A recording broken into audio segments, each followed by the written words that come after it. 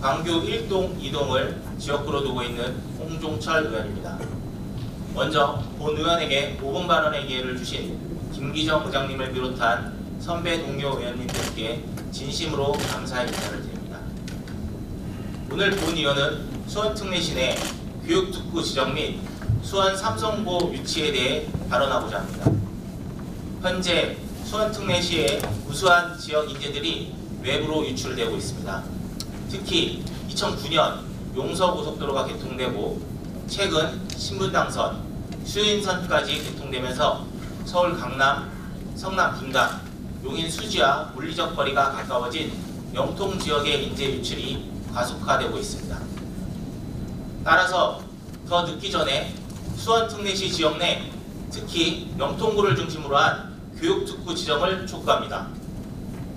윤석열 정부가 발표한 120대 국정과제 교육 분야에서는 교육기관, 지자체, 기업 간 협력으로 지역 맞춤형 인재 확보와 지역 경제 위기 극복을 제시하고 있습니다. 수원특례시 이재준 시장님 역시 주요 공약으로 대기업 및 첨단기업 30개 유치를 제시하셨습니다. 그러나 우수한 대기업을 유치하기 위해서는 교육과 민간 경제, 지자체 간의 연계와 협력 활성화가 필수입니다. 획일적인 교육 규제를 획기적으로 개선하고 학교 교육의 다양화 및 지방 명문대 학교를 명문 학교를 육성하여 서울과의 교육 격차를 해소하기 위하여 수원에 교육 특구를 지정할 필요가 있습니다.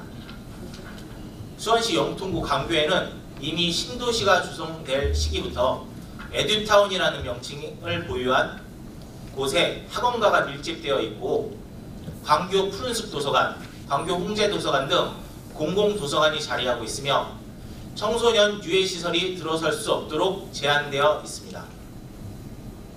그러나 에듀타운이라는 명칭에도 불구하고 수원시 차원의 실질적인 지원 혜택이 없으며 수원의 교육 중심 에듀타운을 기대한 시민들의 바람에 전혀 부응하지 못하고 있습니다. 지역 인재 유출이 가속화되고 있는 상황에서 이미 보유한 인프라조차도 활용하지 못하고 있는 실정이 안타깝습니다.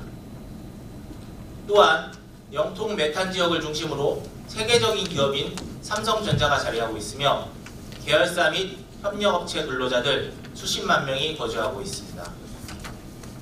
삼성이 위치한 충남 아산시에는 삼성전자가 설립한 자사고 충남 삼성고등학교가 있으며 인천 송도에는 포스코가 설립한 자사고 인천 포스코 고등학교가 있습니다.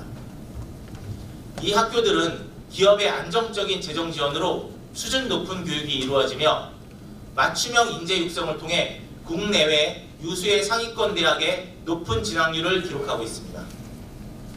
즉 수원 광교 에듀타운과 삼성 디지털시티라는 인프라를 활용하여 교육특구 조성 및 삼성 고등학교 설립을 삼성 고등학교를 설립한다면 지역 인재 확보와 서울 및 분당 지역과의 교육 수준 격차 해소에 크게 기여할 것으로 확신합니다.